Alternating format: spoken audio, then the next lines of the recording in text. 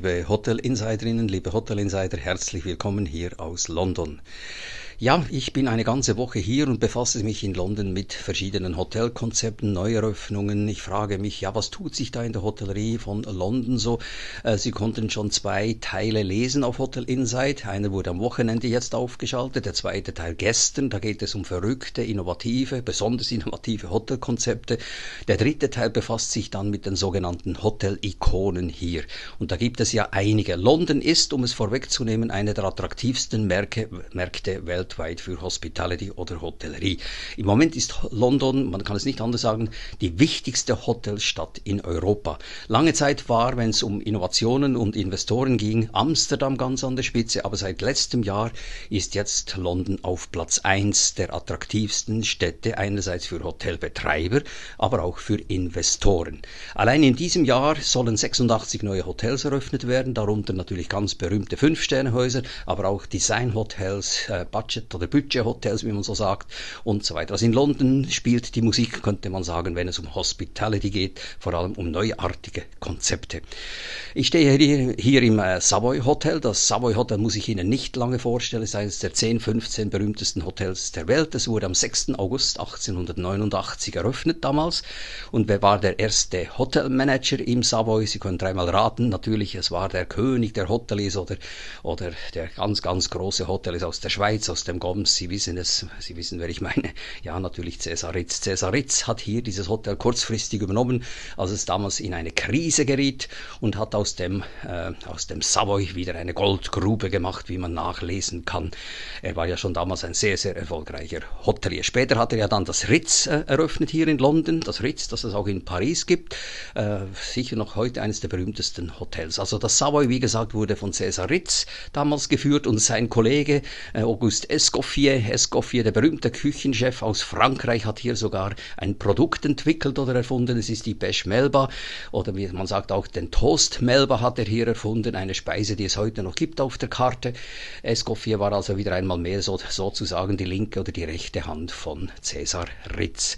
Ich war für, vorhin noch ganz, ganz kurz im Ritz Hotel, das berühmte Ritz in London. Da wurden ja viele Filme gedreht, beispielsweise auch die Schlussszene von Notting Hill mit Julia Roberts äh, wurde da abgedreht. Sie kennen diesen Film sicher, einer der, ja, man kann sagen, einer der begehrtesten, erfolgreichsten Hollywood-Filme der letzten Jahrzehnte.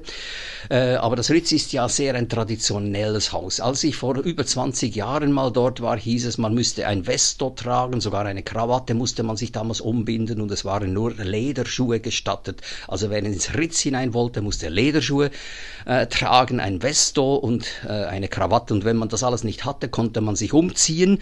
Und zwar an der Garderobe hatten die äh, Vestos in allen Größen und verschiedene Krawatten. Und da musste man sich so einen Bändel umschnüren, ein Vesto anziehen und eben Lederschuhe. Und man staune, vorhin, als ich da im Ritz vorbeiging, hieß es dann, als ich dort in die Smokers Lounge rein wollte, Entschuldigung, Sneakers, äh, die ich jetzt gerade trage, sind hier nicht gestattet, nur Lederschuhe.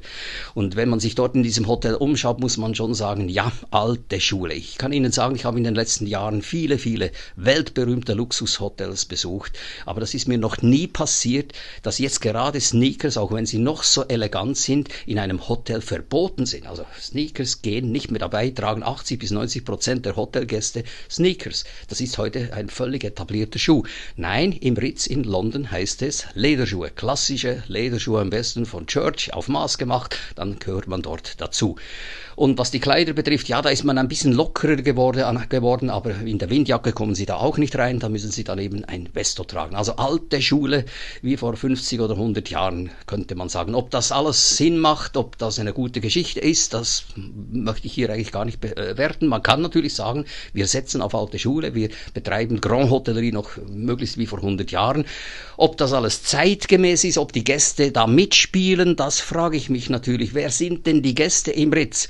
Das sind über 50 Prozent Leute aus arabischen Ländern und wie kommen die daher? Hm, eine andere Frage. Oder das sind amerikanische Internetfreaks. Wie kommen die daher? Äh, wie kommt ein Mark Zuckerberg von Facebook daher in seinem Roll, äh, wie sagt man, seinem Kapuzenpullover, wenn der ins Ritz will und dort auch vielleicht 20, 30.000 Euro oder Pfund für eine Suite bezahlen würde? Der hat keine Chance. Nein, der gute Mann müsste seine Schuhe wechseln bevor er dort in dieses Hotel reingeht. Also, das ist so eine kurze Anekdote zum Thema Ritz in London. Ich werde Sie weiterhin informieren über all das, was da in London passiert, auf dem Investorenmarkt, aber auch auf Seite der Betreiber. Es ist eine hochspannende Geschichte. Lesen Sie diesen Report, der insgesamt vier oder fünf Teile umfassen wird. Ich wünsche Ihnen alles Gute, will da nicht mehr zu lange werden. Ich wünsche Ihnen alles Gute hier aus London. Wir sehen uns nächste Woche wieder, wahrscheinlich aus Italien oder aus der Schweiz. Alles Gute, auf Wiederhören.